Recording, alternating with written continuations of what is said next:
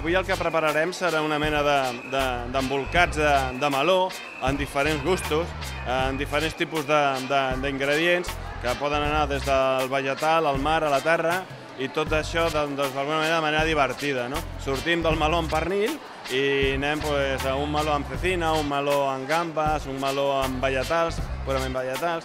Bueno, i aquesta és la línia.